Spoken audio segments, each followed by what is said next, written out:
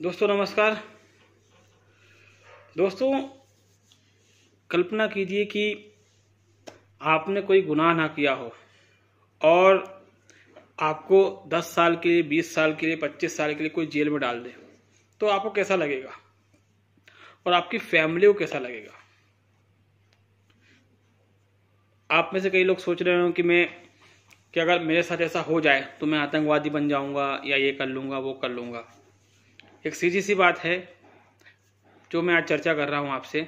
अभी लगभग तीन दिन हुआ है मेरे ख्याल से। एक खबर आपने पढ़ी होगी।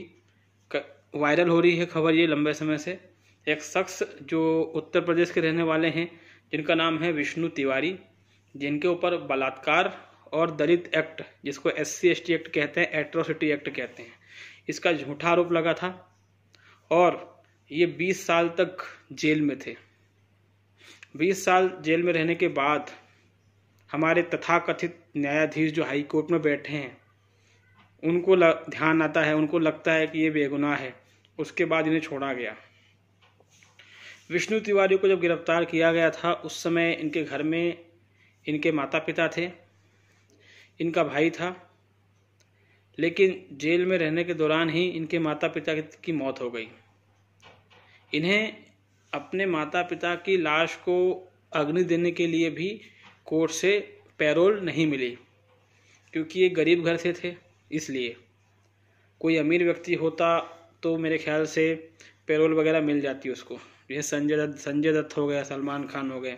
ठीक है, पैरोल अगर आपको चाहिए तो आपका अमीर होना ज़रूरी है, ऐसा हमारी न्यायपालिका कहती है इशारों इशारों में। तो विष्णु तिवारी को पैरोल नहीं मिली। पूरा केस लड़ने में इनके पास छोटी सी ज़मीन थी, मेरे ख्याल से चार एकड़ के आसपास। वो पूरी ज़मीन बिक गई इनकी। इस तरह से एक व्यक्ति जिसने कोई गुनाह नहीं किया था, लंबे समय तक, लगभग 20 साल वो जेल में रहा। मतलब हम कह सकते हैं कि उसकी आधी उम्र निकल गई जेल में, क्योंकि जब उन्हें गिरफ़्तार किया गया होगा तो वो नाबालिग तो रहे नहीं होंगे, बालिग ही रहे होंगे।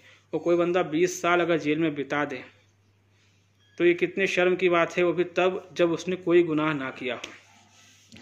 तो दोस्तों, ये सब चीज़ें आपके साथ भी हो सकती है। ये ध्यान रखें। ये सब आपके साथ भी हो सकता है, जहाँ नैसर्गिक न्याय का सिद्धांत, जिसको हम कहते हैं the principle of natural justice तो प्रिंसिपल ऑफ़ नेचुरल जस्टिस ये कहता है कि सौ अपराधी छूट जाएँ तो चलेगा। किंतु एक बेकसूर को सज़ा नहीं होनी चाहिए। किंतु भारत का जो न्याय तंत्र है, भारत के जो कानून है, वो इस विचारधारा के साथ बनते हैं कि सौ गुनहगार सॉरी जो इंडिया का जो सिस्टम है, वो इस विचारधारा के साथ बनता है कि सौ जो वो हैं, गुनहगार हैं, उनको सज़ा मिले या ना मिले। लेकिन जो बेकसूर है, उसको जेल होना ही चाहिए। इस तरह से सिस्टम बनाया गया है। यही कारण है कि आए दिन हमारे देश में झूठे आरोपों के चलते लोग जेल जाते हैं। और कुछ कानून तो ऐसे जो बड़े विख्यात हैं हमारे देश में, जिसके तहत व्यक्ति को जेल जाना ही पड़ेगा, चाहे व्यक्ति जो है वो बेकसूर क्यों ना हो। बलात्कार का ही एक एग्ज़ाम्पल ले लीजिए। फिर जो ये एट्रोसिटी एक्ट है, जिसको एस सी एक्ट कहते हैं, ये हो गया। उसके अलावा छेड़खानी, यौन शोषण, महिला मतलब महिला से संबंधित कानून और एक जाति से संबंधित कानून। ये दो कानून जो हैं, इसके तहत किसी को भी जेल हो सकती है, कभी भी हो सकती है। आप बेकसूर हैं, आप गुनहगार हैं, ये सब तो बाद में साबित होता रहेगा, मगर आपको जेल जाना पड़ेगा। और एक बहुत ही क्रिटिकल टाइम आ जाता है जब किसी व्यक्ति पर इस तरीके के आरोप लगते हैं। और ऐसा किसी के साथ भी हो सकता है ध्यान रखिए, ठीक है? क्योंकि भारतीय कानून का जो आधार है, वो न्याय नहीं है। कानून का आधार न्याय होना चाहिए। Justice should be base of law लेकिन इंडिया में ऐसा नहीं है। इंडिया में किसी कानून का आधार है गंदी घिनौनी राजनीति। उसी राजनीति के कारण ऐसा होता है। अब अगर इस केस की ही मैं चर्चा करूँ, विष्णु तिवारी केस की तो सवाल यह है कि इसके लिए अब क्या हो? अब उसको न्याय कैसे मिले? क्या फिर से मुकदमा चलाएँगे उसको न्याय देने के लिए?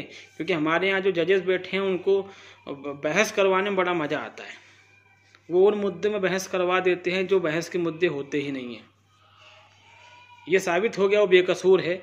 तो बिना विलंब किए मेरे ख्याल से विष्णु तिवारी को कम से कम सौ करोड़ या कम से कम दो सौ करोड़ रुपए कंपनसेशन के तौर पर राज्य सरकार द्वारा दिया जाना चाहिए।